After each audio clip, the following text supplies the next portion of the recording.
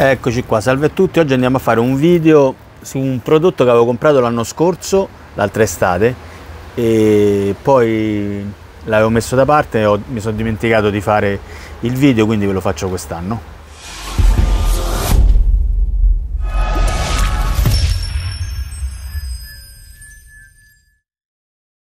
Allora, il prodotto è questo qui. Vedete? Avete indovinato che cos'è? Ve lo dico io. Allora, questo qui praticamente è un prodotto che serve per eh, riprodurre le piante. Quindi andiamo a prendere, dove faccio vedere poi come si fa.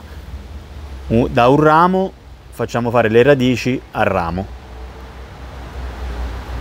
Adesso vi faccio vedere come, come, si, come si, fa e è molto semplice da, da utilizzare. Eh come primo passaggio andiamo a prendere una terra qualsiasi terra o in base a, al tipo di pianta che, che dobbiamo andare a riprodurre. Allora taglio la busta. Eccola qua. Poi andiamo a prendere la terra. Deve essere leggermente umida e la andiamo a mettere in questo modo. Aspettate se no sporco troppo ecco qua guardate eh? un po' qui e un po' da quest'altra parte. Vedete?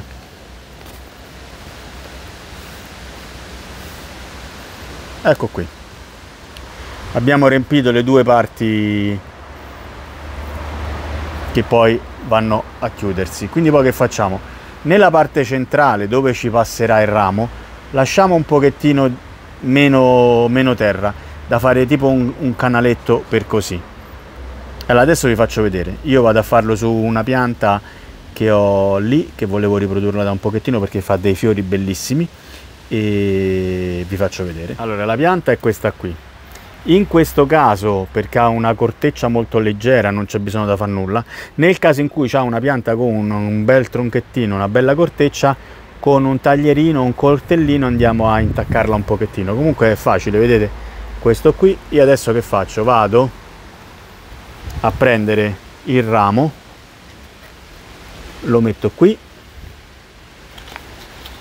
chiudo le due parti aggancio il laterale eccolo qui schiaccio un pochettino anche se serve a poco e voilà.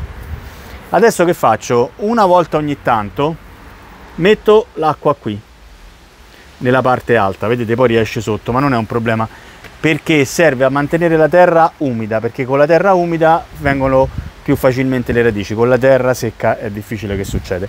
E se lo fate que con questo tipo di pianta mettete nella parte bassa un, dove trovate un getto in modo che ve lo tiene un po' più bloccato e non, non, non rischiate che, che scivola giù. Nel caso in cui invece il tronco è più grande che riuscite a comprimere, a chiudere meglio a pressione, qualsiasi punto va bene. Quindi eccolo qui.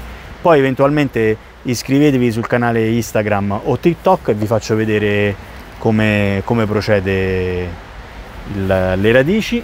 Una volta fatte le radici lo taglio e lo vado a, a piantare nel vaso. Se voi lo conoscevate fatemi sapere se l'avete fatto e se funzionava.